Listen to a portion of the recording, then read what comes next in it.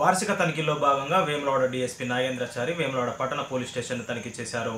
Police స్టేషన్లో రికార్డులను పరిశీలించారు. పెండింగ్ కేసుల వివరాలను అడిగి తెలుసుకున్నారు. పోలీస్ సిబ్బంది విధి నిర్వహణలో ఎదుర్కొంటున్న సమస్యల గురించి అడిగి తెలుసుకున్నారు. ప్రస్తుత సంవత్సరంలో పట్టణ పోలీస్ స్టేషన్ పరిధిలో ఒక హత్య కూడా జరగలేదని దీనికి కృషి చేసిన పట్టణ సీఐ వెంకటేష్ను ఆయన అభినందించారు. కార్యక్రమంలో పట్టణ సీఐ వెంకటేష్తో పాటు ఎస్ఐలు వెంకటరాజం తిరుపతి పోలీస్ సిబ్బంది పాల్గొన్నారు. ఆన్లైన్ ట్రీట్మెంట్ నేను మహిళలకు సంబంధించిన పిటిషన్ వచ్చినప్పుడు ఎట్లా రిసీవ్ చేసుకుంటాం ఫస్ట్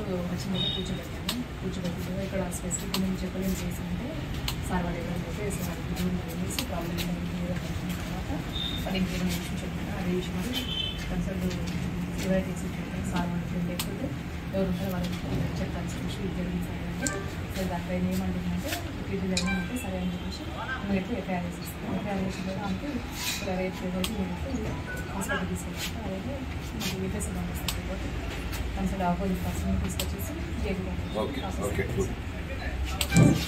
యాన్యువల్ ఇన్స్పెక్షన్లో భాగంగా వేములవాడ టౌన్ పోలీస్ స్టేషన్ సందర్శించడం జరిగింది.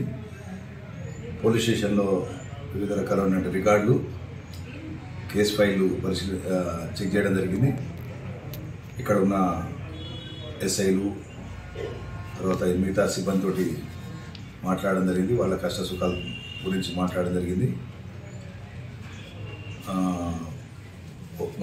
ఈ పోలీస్ స్టేషన్ పనితీరు పరిశీలించినట్టయితే లాస్ట్ వన్ ఇయర్లో టూ ఇయర్స్లో కూడా ఒక మర్డర్ కేసు కూడా లేదు.